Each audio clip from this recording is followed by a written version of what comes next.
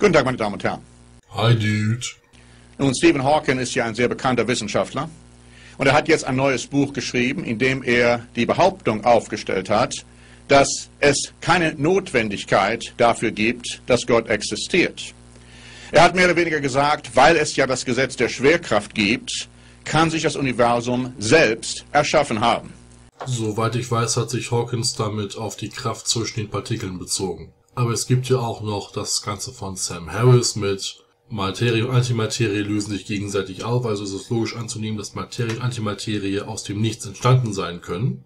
Zusammen mit der Big Bang, Big Draft Theorie und was weiß ich nicht noch all für ein Zeug. Also ja, es gibt verschiedene Theorien, die nahelegen, dass es keinen Schöpfer geben muss. Man bedarf also keines Gottes, der das Universum erschaffen hat, sondern das Universum kann sich selbst erschaffen haben durch das Gesetz der Schwerkraft. Ich habe hier einen Artikel aus der deutschen Ausgabe des Fokus diesen Monats vor mir liegen mit dem Titel Schöpfung ohne Schöpfer. Du willst jetzt nicht ernsthaft den Geschichtenonkel spielen, oder? Und in diesem Artikel heißt es wie folgt. Oh, fuck me. Hawking bezweifelt, dass, dass unser Universum und seine Gesetze exakt auf die Möglichkeit menschlicher Existenz zugeschnitten sind. Die tausend, in Anführungszeichen, Zufälle, die notwendig sind, um Leben zu ermöglichen, sind für ihn kein Beweis für das Wirken eines Gottes. Und er zitiert, oder wird jetzt wie folgt zitiert, Wissenschaft kann das Universum ohne die Notwendigkeit eines Schöpfers erklären. Zitat Ende. Der Artikel fährt fort zu sagen, es wird allein von den Naturgesetzen bestimmt und immer schon. Warum gibt es überhaupt etwas und nicht einfach nichts? Antwort, weil Schwerkraft und Quantentheorie aus dem Nichts spontan Universen schaffen. Der Artikel fragt, lässt sich Gott so einfach weg erklären? Und Hawking antwortet, in gewissem Sinne werden wir dadurch zu den Herren der Schöpfung. Der Artikel schreibt, er schafft Gott ab und setzt sich gewissermaßen an seine Stelle. Es gibt drei Möglichkeiten, was hier los sein kann. Erstens, der Artikel wurde von einem Vollidioten geschrieben. Zweitens, die Übersetzung des Interviews wurde von einem Vollidioten angefertigt. Oder drittens, ein unehrlicher Vollidiot, in diesem Fall du, hat den Scheiß falsch zusammengeschrieben, weil diese Aussagen so keinen Sinn machen. Der Mensch hat keinen Einfluss auf irgendetwas in diesem Zusammenhang. Das Ganze funktioniert durch Quantenphysik, etwas, was der Mensch so gerade eben am Anfang des Verstehens ist. Selbst wenn Hawkins größenwahnsinnig wäre, er ist intelligent genug zu wissen, dass der Mensch mit diesem Prozess nichts zu tun hat. Aber überlegen wir einmal, meine Damen und Herren, ist das so einfach, sich vorzustellen, dass das Universum sich selbst erschaffen hat? Hast du eine Gabel im Hirn stecken? Hawkins hat was von Quantenphysik gesagt. Was du begreifen kannst und was du dir unter normal vorstellst, hat mit Quantenphysik nichts zu tun. Und zwar auch noch dann Gesetze erschaffen hat, denen es unterliegt. Und zunächst einmal scheinbar Gesetze erschaffen hat, die notwendig waren, um, wollen wir Hawking folgen, sich selbst zu erschaffen.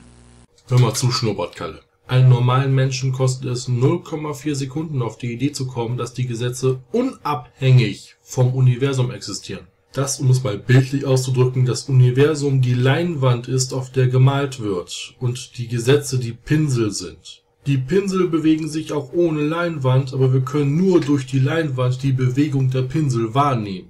Ist das für dich verständlich oder war es zu hoch?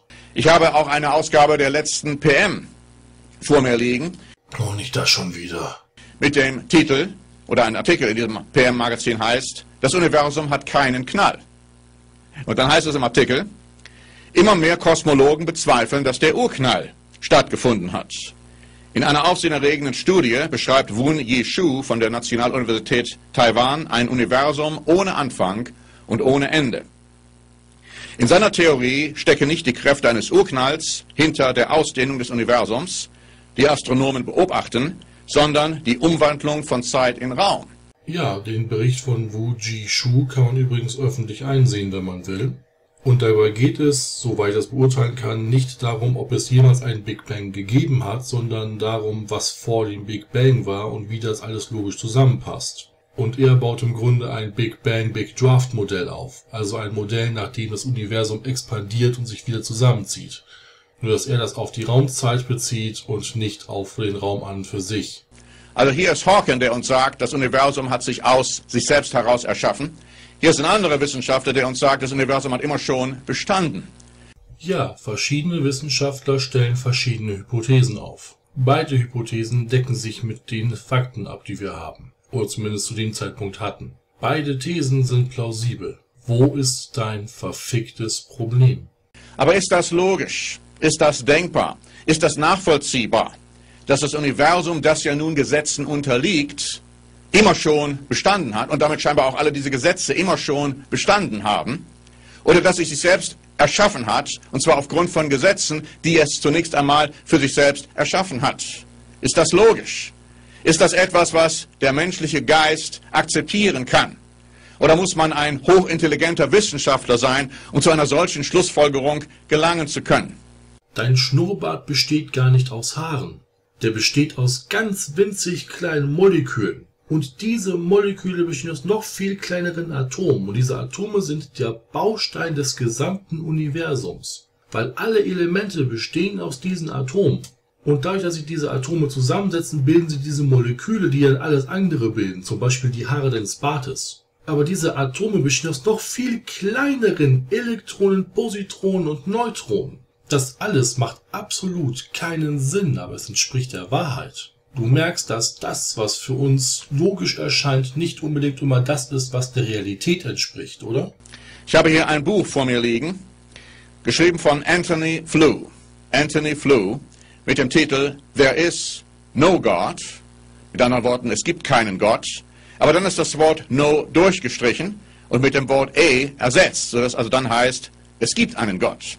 Interessant ist an diesem Buch, dass Anthony Flew einer der bekanntesten Atheisten war für lange Zeit, der aber dann allmählich zu der Erkenntnis kam, und zwar aufgrund der Tatsache, dass es Gesetze gibt im Universum und dass es überhaupt Bewusstsein gibt, dass es einen Schöpfer geben muss. Also wie gewohnt, es könnte so sein, dass die Gesetze festgeschrieben sind und nicht anders sein können. Es könnte so sein, dass es ein Universum gibt, für jede kleine Abweichung in den Gesetzen und wir einfach in einem von den Universen leben, wo alles gut funktioniert hat. Es könnte sein, dass Baba Baba Baba Baba Baba Baba Baba Ihr kennt das alles schon. Ich muss es nicht nochmal erklären, oder? Er gibt unter anderem ein interessantes Beispiel. Er sagt, wenn Sie einen Tisch haben, den Tisch können Sie irgendwo hinstellen und er kann für Tausende, Zehntausende, zigtausende, Millionen, Milliarden Jahre dort sein. Er wird niemals zu dem Schluss kommen, dass er auf einmal jetzt Bewusstsein hat und dass er auf einmal zu sich selber sagt, ich bin ein Tisch. Mir ist diese Tatsache bewusst, dass ich ein Tisch bin. Er sagt, tote Materie kann kein Bewusstsein haben und niemals ein solches entwickeln. Okay, ich weiß nicht, ob ihr die Show kennt, aber The Amazing Atheist macht eine Hangout-Show, The Drunken Peasants. Und einer der Atheisten oder Christen oder was auch immer gern sein will, der durch Kakao gezogen wurde, ist Brad Keen. Das Interessante bei dem Typ ist, Brad Keen war früher Atheist und ist dann Christ geworden.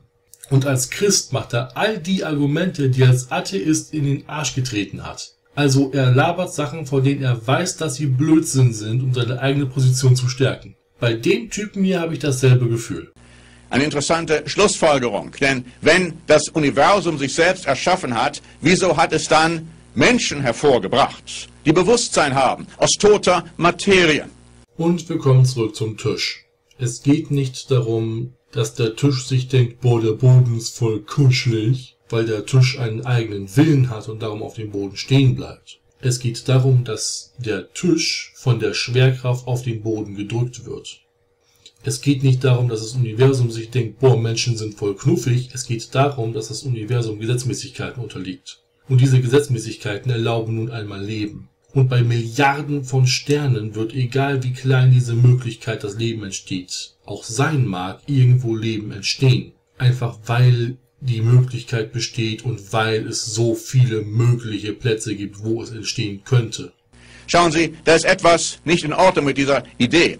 Ich habe vor einiger Zeit eine Predigt gegeben, die ist ein bisschen länger als diese zehnminütigen auf Posten stehen Programme, aber die können Sie auf unserer Webseite finden.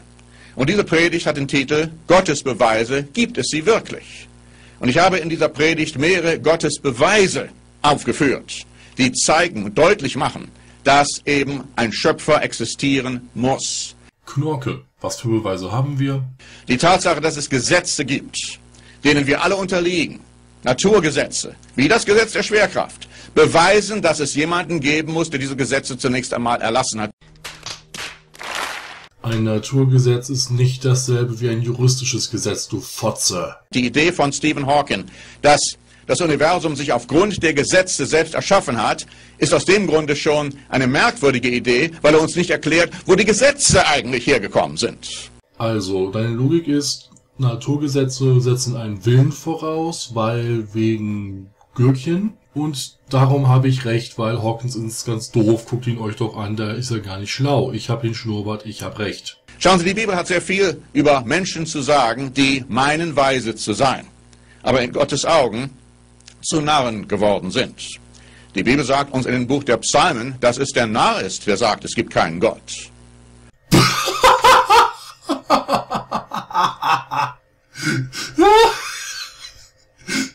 Stephen Hawkins ist eines der größten Genies unserer Zeit. Und du sagst, nur weil er nicht an Gott glaubt, muss er ein Vollidiot sein. Wow. Es gibt keinen Mittelfinger, der groß genug für dich ist. Aber hier im Neuen Testament finden wir eine interessante Stelle im Römerbrief. Und ich möchte dies kurz aus der Lutherbibel einmal vorlesen, im ersten Kapitel und die Verse 19 und 20, wo der Apostel Paulus Folgendes sagt.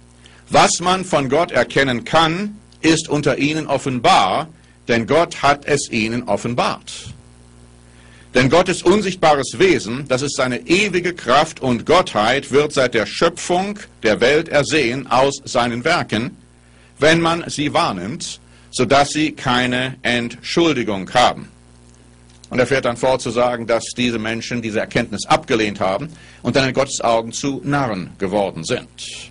Also dein Argument ist, ich weiß ganz genau, dass Gott die Welt erschaffen hat, weil mein Buch das so sagt. Und weil mein Buch das so sagt, kann ich in der Schöpfung Gott erkennen. Und wer im Universum Gott nicht erkennen kann, der ist doof. Du siehst den Kreis in der Logik, oder? Man kann noch so sehr sich in der Wissenschaft auskennen und gleichwohl zu total falschen Ergebnissen kommen, wenn man von falschen Voraussetzungen ausgeht. Ironie. Du weißt, was das Wort bedeutet, oder? Schlag's nach. Bitte, bitte, bitte, bitte, schlag's nach. Der normal denkende, logische Verstand sagt uns, dass es einen Schöpfer geben muss, der alles erschaffen hat. Und dass damit die Theorien von Stephen Hawking als falsch, als grundsätzlich falsch abzulehnen sind. Also eine wissenschaftliche Theorie von einem der größten Genies unserer Zeit, die mit den Fakten übereinstimmt, ist falsch, weil dein Buch es so sagt. Und weil du gerne willst, dass es einen Schöpfer gibt. Und der Atheismus ist eine Religion, die auf keiner faktischen Basis beruht. Also der Atheismus ist eine in Anführungsstrichen Religion, die keine Basis hat, weil die Aussage, ich glaube nicht an einen Gott, den man nicht beweisen kann, schwachsinnig ist. Während du, ein Typ, der glaubt, dass ein Buch mit sprechenden Tieren und beweisbar falschen Aussagen richtig ist, eine Basis für seinen Glauben hat. Bin ich in einem Paralleluniversum gelandet oder ist der Typ ein Vollidiot? Schauen Sie, der Apostel Paulus hat uns auch Folgendes gesagt im Hebräerbrief, im elften Kapitel. Und ich lese nur Vers 3. Hebräer Kapitel 11 und Vers 3. Er sagt, durch den Glauben erkennen wir. Jawohl, es muss Glauben vorhanden sein, aber es ist ein auf Fakten beruhender Glaube. Es ist kein Glaube, der irgendwie aus einem Hirngespinst sich heraus entwickelt hat. Er sagt, aus Glauben erkennen wir. Also der Glaube gibt uns die richtige Erkenntnis, dass die Welt, das Universum, durch Gottes Wort geschaffen ist. Also wenn du ganz fest daran glaubst, dass etwas wahr ist, siehst du Begründung dafür, warum es wahr ist. So ein bisschen wie Hitler ganz genau wusste, dass die Juden minderwertig sind und darum Gründe dafür gefunden hat, warum die Juden minderwertig sind. Und dadurch wird es objektiv wahr.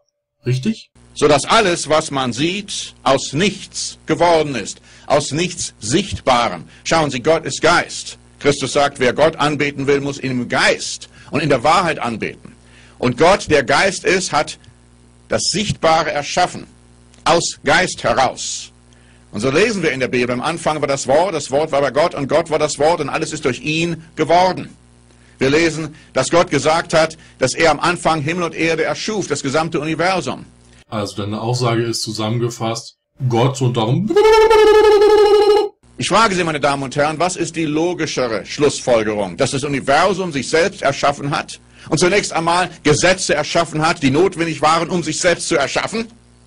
Oder dass es Gott, der seit Ewigkeit existiert hat, der ein Geistwesen ist, alles, was wir sehen, alles, was existiert, erschaffen hat. Also die Frage ist, ist das, was wir wissen, das existiert, das Universum aus sich selbst entstanden? Oder ist erst etwas anderes aus sich selbst entstanden und hat dann das Universum erschaffen? Da beides voraussetzt, dass etwas aus sich selbst entsteht und die erste Aussage, das Universum ist aus sich selbst entstanden, weniger unnötige Schritte hat, die nicht bewiesen werden können, würde ich sagen, das erste macht mehr Sinn. Schauen Sie, die grundsätzliche Frage ist folgende. Wenn wir anerkennen, dass es Gott gibt, der uns erschaffen hat, dann müssen wir auch anerkennen, dass Gott etwas von uns will. Das ist keine Frage. Der Atheismus ist eine Religion, die es ablehnt, nach Gott zu fragen, die nicht wissen will, was wir heute zu tun haben. Eine Idee, die davon ausgeht, dass wir heute existieren und morgen ist alles vorbei, dass es keine Zukunft für den Menschen gibt, dass wenn wir sterben, wir nicht wieder erneut zum Leben erweckt werden. Paulus sagt, wenn wir so denken, dann sind wir die erbärmlichsten von allen Menschen. Ich will aber, dass es einen Gott gibt. Ich will aber, ich will aber, ich will aber. Und darum sind Atheisten doof. Meine Damen und Herren, stellen Sie sich die Frage, ob es logisch ist, sich vorzustellen, dass es keinen Gott gibt, der dieses Universum und Sie erschaffen hat. Ist es logisch, dass es ein unendliches Geistwesen gibt, das alles, was existiert, erschaffen hat und dessen Attribute sich entweder gegenseitig widersprechen oder in sich selbst unschlüssig sind? Ähm, nein. Aber wenn er sie erschaffen hat, dann fragen Sie sich auch, warum? Was ist Ihr Potenzial? Was ist der Zweck und der Sinn Ihres Lebens?